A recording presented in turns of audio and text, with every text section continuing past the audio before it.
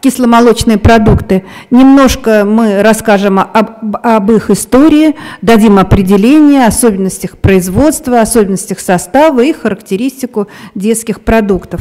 Но надо сказать, что история э, кисломолочных продуктов, их создания уходит далеко в древности. Мы видим, что первые упоминания о потреблении сквашенного молока в питании человека относятся к V-VI веку до нашей эры, и кисломолочные продукты могут готовить готовить из э, коровьего, козьего, кобыльего, верблюжьего молока и молока других животных.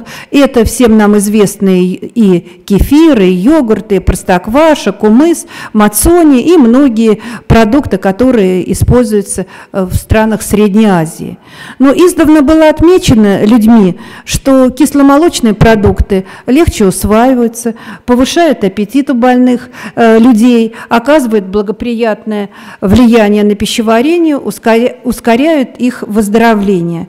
И вот действительно два корифея в нашей стране, которые активно занимались разработкой и внедрением кисломолочных продуктов, это академик Мечников и Калерь Сергеевна Ладодо. Я думаю, равных им в нашей стране и в мире, я думаю, людей нет.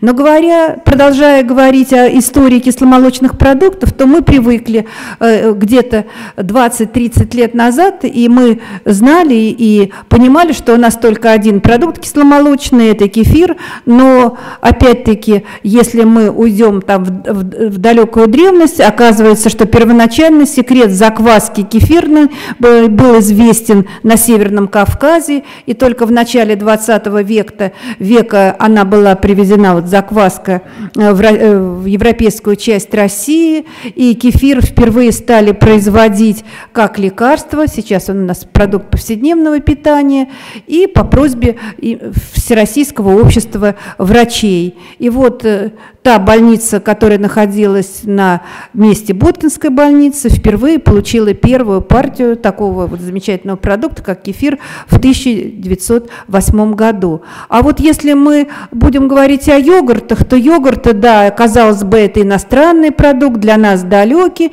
но нет. Вот Илья Ильич Мечников, мы э, знаем, я читала отрывки из его произведения «Этюды», а, э, как он называется, тоже забыл.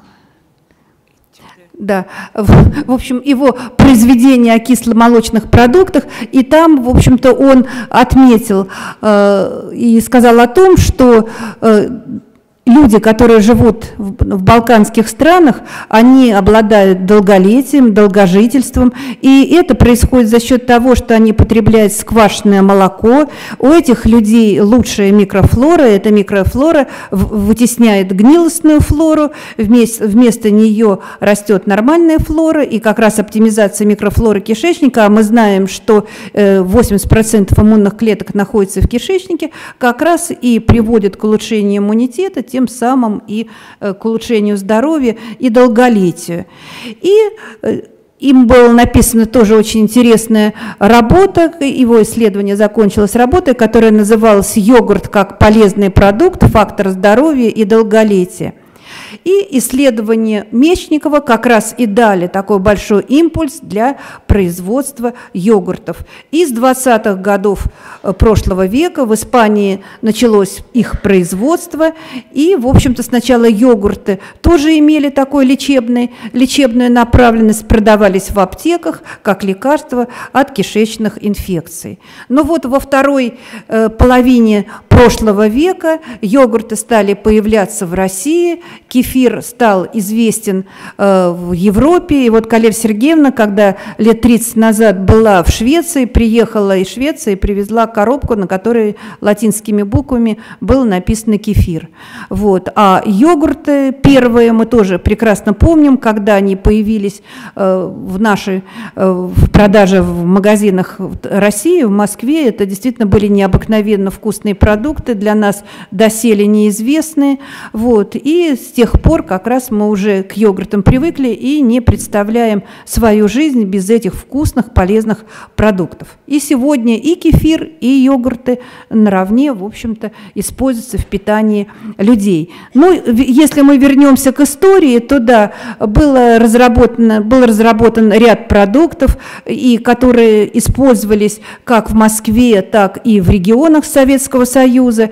Это и бифилин, это и ацидолак, это нарине, и тонус, и, и лактобактерин. То есть было много уже таких кисломолочных продуктов, которые получали путем использования различных заквасок, которые, в общем-то, сквашивали молоко и приводили его уже в состояние кисломолочного продукта. И вот самый последний э, регламент, э, технический регламент на молоко и молочную продукцию, он был издан в 2008 году, он определяет, что же такое кисломолочные продукты, что можно относить к этой категории молочных продуктов. И вот мы, мы видим, что это действительно молочные продукты, которые изготавливают путем сквашивания молока и молочных смесей специальными заквасочными микроорганизмами. При этом происходит снижение pH значит, продукта, коагуляция белка, формирование соответствующего вкуса продукта. И эти продукты э, содержат живые заквасочные микроорганизмы. И вот заквасочных микроорганизмов, их достаточно много. Это и лактобациллы, это и стрептококи, это симбиотическая кефирная закваска, творожная закваска. То есть при помощи этих микроорганизмов мы можем получать кисломолочные продукты. Какие же требования к технологическим процессам при производстве кисломолочных продуктов? Ну, это должно быть быстрое сквашивание, регулируемое кислотообразование обязательно, образование гомогенного сгустка, высокие вкусовые качества, органолептические свойства и сохранность живых полезных микроорганизмов. И вот есть специальные нормативы для заквасочных микроорганизмов, это 1 на 10 седьмой колонии образующих единиц на грамм. Для пробиотических продуктов мы видим для лактобацилл такое же количество, для бифидобактерий вот 10 в шестой.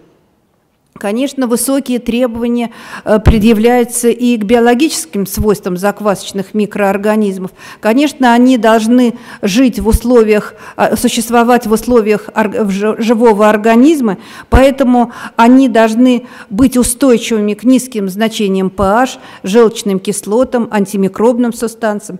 Конечно, они должны иметь высокие адгезивные свойства к эпителию кишечника, то есть хорошо прилипать, э, способны они должны образовывать активные метаболиты в процессе молочно-кислого брожения. И, конечно, стабильность генетического кода – это обязательно, это безопасность. И поэтому перед тем, как э, будет использоваться в питании продукт или будет использоваться препарат, содержащий э, эти, как говорится, микроорганизмы, тут, в общем-то, проводятся очень длительные многолетние исследования, которые прежде всего определяют безопасность продукта, потому что в живой организм добавляются микробы определенные, не свойственные организму, и они должны, в общем-то, оказывать положительный эффект и не приносить вреда. Но говоря о сквашивании, это процесс достаточно интересный. Сквашивание происходит за счет ферментов, которые содержатся в микроорганизмах. Это в микроорганизмах это бета-галактозидаза, это лактат-дегидрогеназа. При этом происходит частичный гидролиз лактозы с одной стороны, с другой стороны накапливается э, такой очень важный метаболит, это молочная кислота, и все это приводит как раз и к снижению pH продукта, снижение pH, это повышение кислотности, происходит коагуляция, частичное расщепление белка, действительно образуется сгусток, частичный протеолиз молочных белков происходит.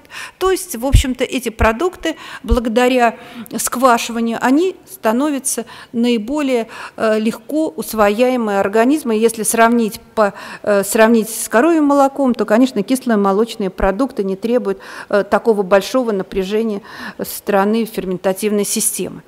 Заквасочные культуры могут, э, в зависимости от их вида, могут э, приводить к образованию, к появлению продуктов молочно-кислого брожения. Это простокваша, ряженка, ацидофилин, йогурт. И вот те детские йогурты, они как раз получаются путем молочно-кислого брожения. Есть у нас и, продукты, которые получаются э, с помощью заквасок, которые э, приводят к смешанному молочно-кислому спиртовому брожению. Это кефир, это кумыс, айран и так далее. То есть это вот два вида продуктов, но повторяю, что в детском питании вот сейчас последнее время преимущество имеет йогурт.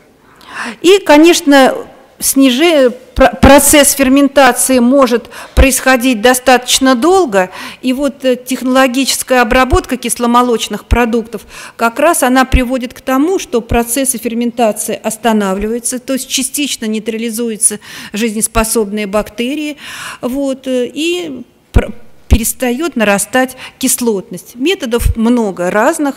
Это охлаждение, это гомогенизация, вот как раз это характерно для йогуртов, кефира, биолакта, это термизация, что характерно для творога, пастеризация, стерилизация, э, распылительная сушка, это жидкие и сухие смеси.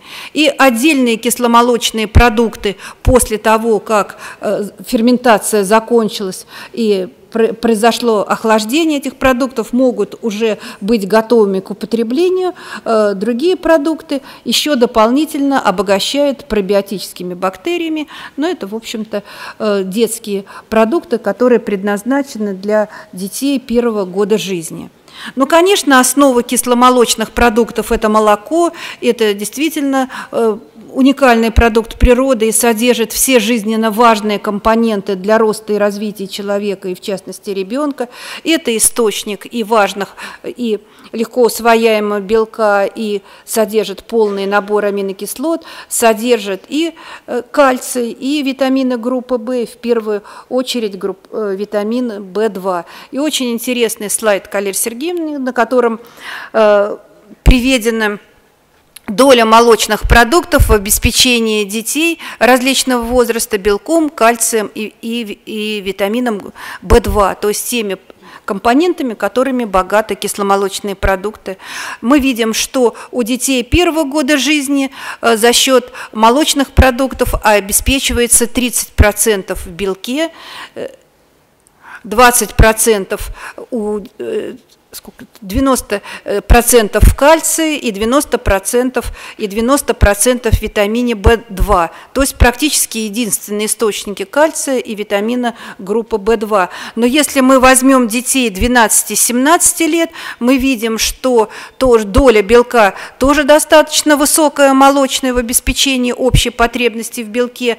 И за счет молочных продуктов на 50% это у подростков э, обеспечивается потребность в кальции и витамине группы В2. То есть надо сказать о том, что действительно в питании наших подростков должны использоваться не газированные сладкие напитки, а кисломолочные продукты для того, чтобы они обеспечивали свои потребности. Но говоря коротко о функциональных свойствах кисломолочных продуктов, надо сказать, что они многогранное, многогранное воздействие оказывают на организм э, человека и в частности ребенка, и общее биологическое действие, и воздействует на функциональное состояние желудочно-кишечного тракта, влияет на микробиоциноз кишечника, обладает определенным иммуномодулирующим действием. И вот мы здесь представили, слайд достаточно загружен, но тем не менее мы видим, что в процессе молочно-кислого брожения э, молочные бактерии, метаболиты э, придают определенную протеолитическую активность, которая спасает кисломолочным продуктам, которые э, участвуют в расщеплении белка, снижают аллергенность, поэтому белок лучше усваивается кисломолочных продуктов по сравнению с цельным молоком, и, в общем-то, снижается риск развития аллергии. Э, накапливается и появляется липолитическая активность, происходит гидролиз жира образование свободных жирных кислот, улучшается переваривание и всасывание жиров, лактазная активность достаточно высокая кисломолочных продуктов, снижается уровень лактозы, уменьшается процесса брожения в кишечнике при использовании кисломолочных продуктов.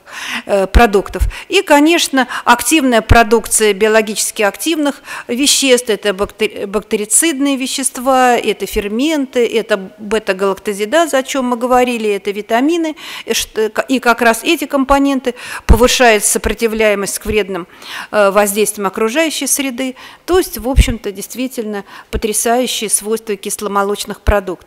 Но говоря на влияние на э, функциональное состояние желудочно-кишечного тракта, мы видим, что за счет э, повышенной кислотности, то есть низкого значения pH и накопления органических кислот, при использовании кисломолочных продуктов улучшается секреция пищеварительных соков и ферментов, улучшаются процессы пищеварения, улучшается аппетит, э, регулируется моторная деятельность кишечника, уменьшается метеоризм, улучшается состав кишечной микрофлоры, то есть, в общем-то, очень много плюсов, и улучшается э, всасывание кальция. Но влияние на эм, условно патогенную, флору тут прежде всего за счет снижения pH, за счет кислой среды, за счет конкуренции за пищевые вещества и препятствия адгезии к рецепторам слизистой кишечника, вот слизистой энтероцитов, э, происходит конкуренция э, условно-патогенной, патогенной флоры с нормальной флорой, с активной флорой, и поэтому, в общем-то, мы видим, что э, условно-патогенная флора вытесняется и дает возможность для роста той флоры, которая, в общем-то, э, будет полезно воздействовать на э, микробиоциноз кишечника и которая будет обладать иммуномодулирующим действием. Ну, заканчивая свое выступление, конечно, 15 минут это мало для того, чтобы кисломолочные продукты охарактеризовать, но тем не менее э, хочу вам представить те основные виды современных детских молочных продуктов, которые имеются на нашем потребительском рынке. Их достаточно много. Это и жидкие формы напитков, напитки адаптированные, неадаптированные. Это и детский творог, и биотворог, это сухие адаптированные кисломолочные продукты. Вот, так что действительно только нам надо с вами знать, как сказала Ольга, когда и в каком возрасте какой продукт назначить, какой лучше выбрать. И вот на том заводе, который показывали на э, этом ролике мы были, действительно, все соответствует действительности, потрясающая чистота, потрясающие технологии, самые современные, пробовали эти продукты сразу, очень приятные, только жалко, что завод находится далековато от Москвы, в Санкт-Петербурге, и вот наш научный центр не может получать отдельные продукты питания, потому что достаточно долго, в общем-то, они там и контроль, я знаю, строгий, там они отстаиваются определенное время, потом в Москву идут и все. Так что целесообразно, я считаю, в городе Чехов, где мы были с Калерой Сергеевной на заводе Данона, и потрясающее предприятие тоже, но там нет отдельного цеха для производства продуктов детского питания, построить такой же цех, какой мы видели на экране, для того, чтобы и дети Москвы и Подмосковья, в общем-то, могли достаточно быстро получать такие продукты. Спасибо большое за внимание.